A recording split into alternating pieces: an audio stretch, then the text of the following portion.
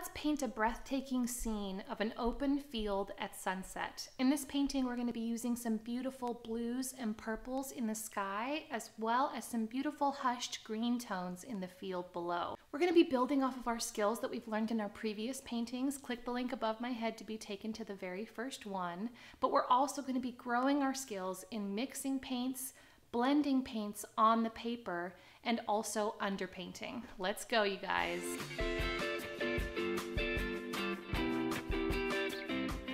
So I mentioned we're going to be mixing our colors. Here are our muted greens, our cool browns, and our dark greens.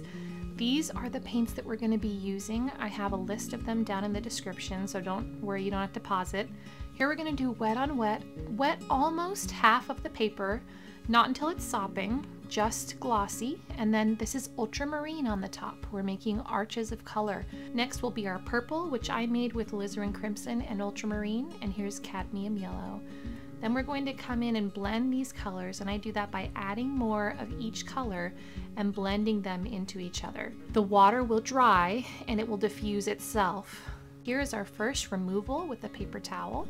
I'm making these organic lines which are all going in the same diagonal direction just with the edge of my paper towel and I'm making sure they're not straight lines. Some places they're kind of bunched up you do with natural things, you want them to try to look as random and irregular as possible within reason. You want it to be beautiful, but also random looking at the same time. So notice I don't go very far into the yellow at all.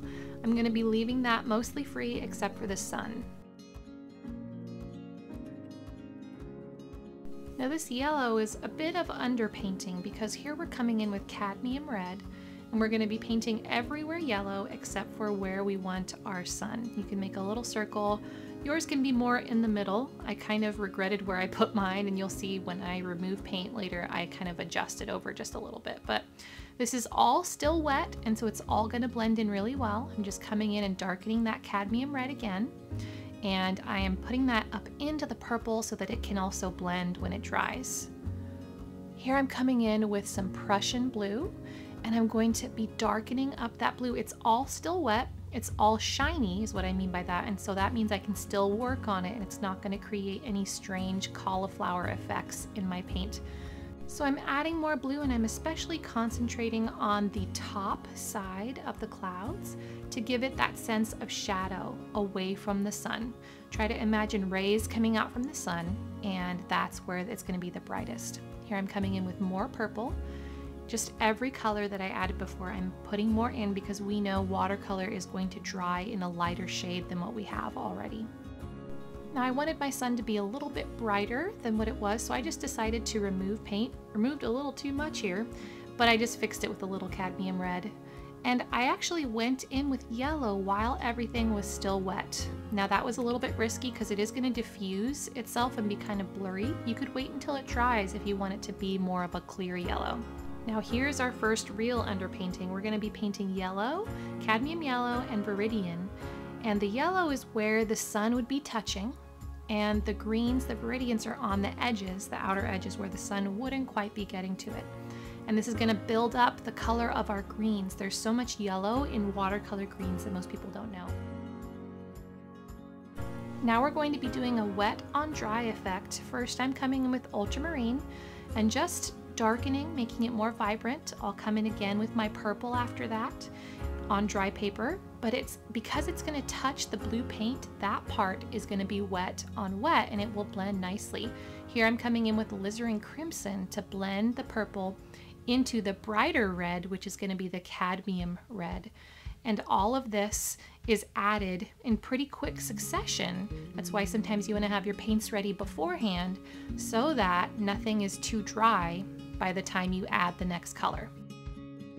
I also added some alizarin crimson to bring some shadows up into these clouds, reflecting some of the beautiful sunset lights in the sky. Once this is all dry, you are ready to start using your mixed colors, which is going to be yellow ochre and viridian to make this muted light green. And that's going to go over most of this grass, most of our underpainting, in a wet on dry technique that we are using. Make sure your paint isn't too dark because you do want to be able to see the color underneath as well. I'm coming in with just a little bit of cadmium red to give it that subdued evening glow and blending it into the sides. And if I add just a little bit more Viridian to my muted green color, I can make these dappled horizontal shapes that give the illusion of rows of grass or crop. And here we're doing some dry brush removal. This is all still wet, so I can go in with my skinny brush and create these blades of grass or whatever kind of crop you want it to be. Next, we are going to be mixing our cool brown color, which we're going to be making with Viridian and Burnt Umber. And these organic shapes I'm making back here are trees. Here's a barn and more trees, but spaced right under the sun. And these shapes are gonna be giving the impression of trees in the background. Here's some more cadmium yellow, which I'm adding all around to give it this glowing color and also in the grass. You can see I added some cadmium red to that as well. Next come our muted green colors, but a little bit darker this time, more green to make these vertical blades of grass. And a tip for making things look like they have depth and they're in the distance, smaller in the back, bigger in the front. And as we get bigger, these are actually going to become taller because the perspective of this is someone who is low down to the ground. We're going to be using that same cool brown color again, but this time with a little more green. This is going to be more towards the front that our colors are going to get darker and darker the further they get away from the sun. Here we're going to add even more brown to the same shade and we're adding these details. Do you see on the heads of these, there are these, uh, all I'm doing is bumping my paintbrush to make these little heads on the top. And I'm coming in with more Prussian blue to add some darkness to the sky to show how late it's getting in the evening.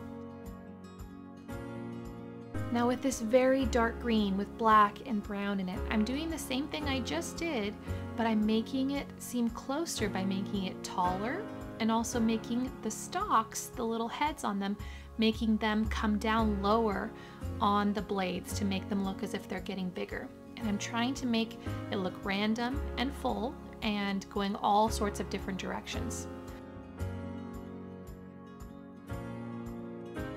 You'll see I also come back in here to try to make the other layers more full and so I go back with those older colors like right here. And I just wanted my rows to look a little thicker, a little bit lusher, but you can actually just leave it if you want to and not create these extra blades of grass. I do have my stalks kind of pointed towards the sun because plants have a habit of doing that. They angle themselves toward the sun. Um, but these are all very simple shapes and you can do this and just have fun with your blades of grass. They don't need to be perfectly straight or anything like that. This is a very important step. If you bought the white gouache paint, we're coming in with our highlights. You don't have to have them, but they sure do create a great effect. What I'm doing is on the side where the sun is, on these very first, very front close blades of grass, I'm making little dappled dots on the heads, and then on some of the stalks, I'm making white lines on that inner edge of the stalk or the blade of grass. I do do that also with the row that came before that, with some of them, but not many, um, because you don't have to be as detailed as you're going further back. But this is just giving these stalks this sense of being kissed by the last rays of the sun, and it creates this really beautiful effect on such dark stalks. Once this dries, I do go over it in just some places with a little bit of yellow as kind of blending into the grass stalks. With this cool brown, I'm coming in and adding some shadows, and these are shapes that they're pointed when they go into the grass. So they're just creating this sense of depth and shadow in this grass so that it looks just a little bit fuller and thicker. Now this painting is done. I signed it and I'm just carefully taking the tape off. I hope that you guys really enjoyed this project. Please let me know if you have any questions at all. I'd be so happy to help you. I am proud of you for getting through this and learning, committing to learning this new skill. And maybe you'll be able to give it to a friend or a loved one when you're done. You can see all the really beautiful colors that dried into this to create our full painting. If this video blessed you, please give it a like. It really helps support our channel. Don't forget to subscribe and turn on notifications if you want to come on future creative adventures with us. Thank you so much for watching, you guys. Be so blessed.